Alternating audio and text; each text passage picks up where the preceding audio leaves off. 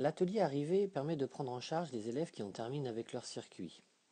Les organisateurs annoncent le temps d'arrivée, le transcrivent sur le carton de contrôle du coureur et récupèrent la carte pour aller la replacer à l'atelier départ.